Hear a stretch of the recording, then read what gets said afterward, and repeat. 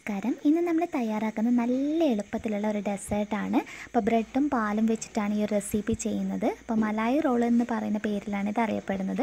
നല്ല ടേസ്റ്റാണ് നല്ല സിമ്പിളാണ്. അപ്പോൾ എല്ലാവരും തീർച്ചയായും ട്രൈ ചെയ്ത് നോക്കാം പിന്നെ എപ്പോഴും പറയുന്നത് പോലെ ഇന്നീ ചാനൽ ആരെങ്കിലും പുതിയതായി കാണുവാണെങ്കിൽ നിങ്ങൾക്ക് എന്റെ റെസിപ്പീസ് ഇഷ്ടപ്പെടുവാണെങ്കിൽ സബ്സ്ക്രൈബ് ചെയ്യാൻ മറക്കരുത്. സബ്സ്ക്രൈബ് ചെയ്യുമ്പോൾ അതിന്റെ തൊട്ടടുത്തായി കാണുന്ന ആ കുഞ്ഞ് ബെല്ലൈക്കൺ കൂടി ഒന്ന് പ്രസ് ചെയ്യുക. അതിന്റെ കൂടെ ഓപ്പണായി വരുന്ന ബോക്സിൽ ഓൾ എന്ന് ക്ലിക്ക് ചെയ്യാൻ മറക്കരുത്. അപ്പം നമുക്ക് വേഗം തന്നെ വീഡിയോയിലോട്ട് പോകാം. അപ്പോൾ നല്ല ടേസ്റ്റി ആയിട്ടുള്ള മലായി റോൾ എങ്ങനെ ഉണ്ടാക്കിയെടുക്കുന്നതെന്ന് നോക്കാം. ഇതിനായിട്ടൊരു പാത്രം വെച്ച് അത് നന്നായിട്ട് ചൂടായി വരുമ്പോൾ ഇതിലോട്ട് ഒരു ടേബിൾ സ്പൂൺ എടുത്ത് ബട്ടർ ചേർത്ത് കൊടുക്കാം. അപ്പോൾ ബട്ടർ നന്നായിട്ടൊന്ന് ഉരുക്കിയെടുക്കാം നമുക്ക്. ബട്ടർ നന്നായിട്ട് മെൽറ്റായി വരുമ്പോൾ ഒരു കാൽ കപ്പിനെടുത്ത് പാൽ ഒഴിച്ചു കൊടുക്കാം. അപ്പോൾ പാൽ ചേർത്തതിന് ശേഷം ഈ ബട്ടറൊക്കെ ആയിട്ട് നന്നായിട്ടൊന്ന് മിക്സ് ചെയ്യാം. അപ്പോൾ ഇനി ഇതിലോട്ട് നമുക്ക് ഇത്തിരി പഞ്ചസാര ചേർത്ത് കൊടുക്കാം. ഞാനിപ്പോൾ ഒരു വൺ ടേബിൾ സ്പൂണിനടുത്ത് പഞ്ചസാരയാണ് ചേർക്കുന്നത്. അപ്പോൾ നിങ്ങൾക്ക് കൂടുതൽ വേണമെന്നുണ്ടെങ്കിൽ കൂടുതൽ ഉപയോഗിക്കാം. ഇനി ഇത് നന്നായിട്ടൊന്ന് ഇളക്കി കൊടുക്കാം. എന്നിട്ട് ഈ പാലിനൊന്ന് ചെറുതായിട്ട് തിളപ്പിച്ചെടുക്കാം. അപ്പോൾ പാലൊന്ന് തിളച്ച് തുടങ്ങിയിട്ടുണ്ട്. ഈ ഒരു സമയത്ത് നമുക്ക് ഇതിലോട്ടേക്ക് പാൽപ്പൊടിയാണ് ചേർത്ത് കൊടുക്കേണ്ടത്. അപ്പോൾ ഞാനിവിടെ ഒരു കാൽ കപ്പിനടുത്ത് പാൽപ്പൊടി എടുത്ത് വെച്ചിട്ടുള്ളതാണ്. അപ്പോൾ അതൊന്ന് ചേർത്തിട്ട് ഇത് നന്നായിട്ടൊന്ന് മിക്സ് ചെയ്തെടുക്കാം. പാലുമായിട്ട് ശരിക്കൊന്ന് യോജിപ്പിച്ചെടുക്കാം നമുക്ക്. അപ്പോൾ തവി വെച്ചിട്ട് ഇതുപോലെ ഒന്ന് ഇളക്കി ഇതൊന്ന് കുറച്ചൊന്ന് ഡ്രൈ ആകുന്നത് വരെ വേണം നമ്മൾ ചെയ്തെടുക്കാൻ വേണ്ടിയിട്ട്. അപ്പോൾ ഈ ഒരു സ്റ്റെപ്പ് ചെയ്യുന്ന സമയത്ത് നമ്മൾ ഫ്ലെയിം കൂട്ടിയിടരുത്. ഒരു ലോ ടു മീഡിയം ഫ്ലെയിമിലിട്ടിട്ട് വേണം ചെയ്തെടുക്കാൻ വേണ്ടിയിട്ട്. അപ്പോൾ നോൺ സ്റ്റിക്ക് പാനിലൊക്കെ ചെയ്യുകയാണെങ്കിൽ കുറച്ചുകൂടി നല്ലതായിരിക്കും.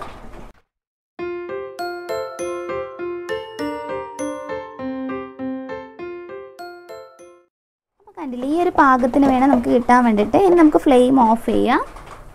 ഇനി ഇത് നമുക്ക് ചൂടാറാൻ വേണ്ടി വെക്കാം. ആ ഒരു സമയം കൊണ്ട് നമുക്ക് ഇതിലോട്ട് ആവശ്യമായ മലായി മിൽക്ക് എങ്ങനെ റെഡിയാക്കി എടുക്കുന്നതെന്ന് നോക്കാം. അപ്പോൾ ഇനി ഇതിലോട്ടുള്ള മലായി മിൽക്ക് റെഡിയാക്കി എടുക്കുകയാണ് വേണ്ടത്. അപ്പോൾ ഞാൻ നേരത്തെ റെഡിയാക്കി എടുത്ത അതേ പാത്രത്തിലോട്ട് തന്നെ ഒരു കപ്പിനടുത്ത പാലും ഒരു നാല് ടേബിൾ സ്പൂൺ പഞ്ചസാരയും ചേർത്ത് കൊടുത്തിട്ടുണ്ട്.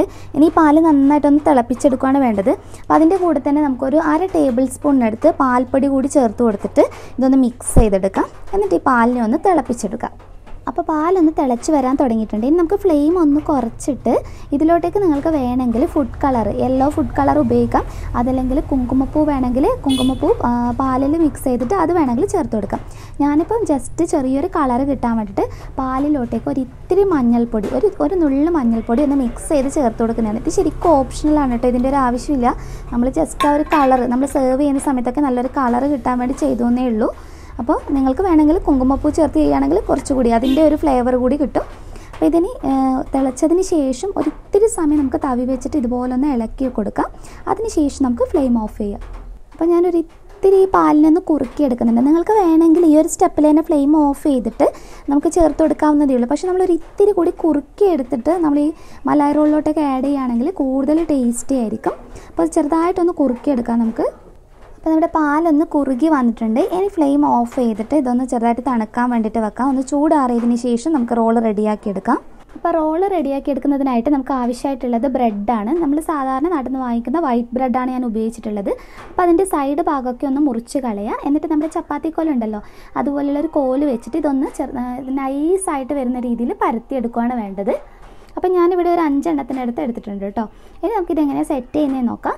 അപ്പോൾ ഇനി റോൾ റെഡിയാക്കി എടുക്കുന്നതിനായിട്ട് ഒരു ബ്രെഡ് സ്ലൈസ് എടുക്കുക. ഇനി അതിലോട്ടേക്ക് ഇതുപോലെ നമ്മൾ റെഡിയാക്കി വെച്ചിരിക്കുന്ന മിക്സ് ചേർത്തിട്ട് നമുക്കൊന്ന് പതുക്കെ വേണം ഇത് റോൾ ചെയ്തെടുക്കാം കാരണം നല്ല സോഫ്റ്റ് ആയിട്ടല്ലേ ഇരിക്കുന്നത്. അപ്പോൾ ഒന്ന് സൂക്ഷിച്ചിട്ട് ചെയ്തെടുക്കാം. അപ്പോൾ ഇതുപോലെ മിക്സ് സ്പ്രെഡ് ചെയ്തതിന് ശേഷം കൈ വെച്ചിട്ട് പതുക്കെ ഒന്ന് നമ്മൾ സാധാരണ എന്തെങ്കിലും സ്നാക്കൊക്കെ ഉണ്ടാക്കിയെടുക്കുമ്പോൾ ബ്രെഡ് വെച്ച് ചെയ്യാറില്ലേ? അതുപോലെ പതുക്കെ ഒന്ന് റോൾ ചെയ്തെടുക്കാം. ഇതൊന്ന് പ്രസ് ചെയ്ത് എല്ലാ സൈഡും ഒന്ന് നല്ല സെറ്റ് ചെയ്തെടുക്കാം നമുക്ക്.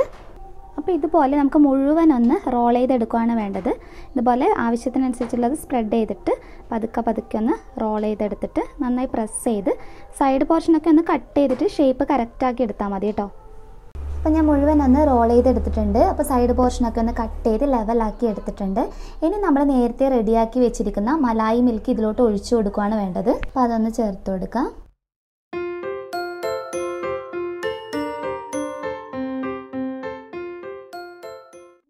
നിങ്ങൾക്ക് ഇഷ്ടമുള്ള രീതിയിൽ ഇതിനെ ഡെക്കറേറ്റ് ചെയ്യാം കേട്ടോ. ഇപ്പോൾ ഞാനിവിടെ എടുത്തിരിക്കുന്ന കുറച്ച് പിസ്തയാണ്. പിസ്ത ചെറുതായിട്ടൊന്ന് പൊടിച്ചു വെച്ചിട്ടുള്ളത്.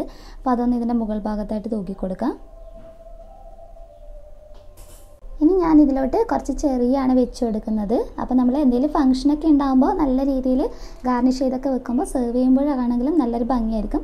പിന്നെ ഇത് കഴിക്കാൻ ഒരു സ്പെഷ്യൽ ടേസ്റ്റ് തന്നെയാണ് കേട്ടോ. അപ്പോൾ എല്ലാവരും എന്തായാലും തീർച്ചയായും ട്രൈ ചെയ്ത് നോക്കാം. അപ്പോൾ നെക്സ്റ്റ് വീഡിയോയിൽ ഇനിയും നല്ലൊരു വെറൈറ്റി ഡിഷുമായി കാണാം. അതുവരെ ടേക്ക് കെയർ Bye bye.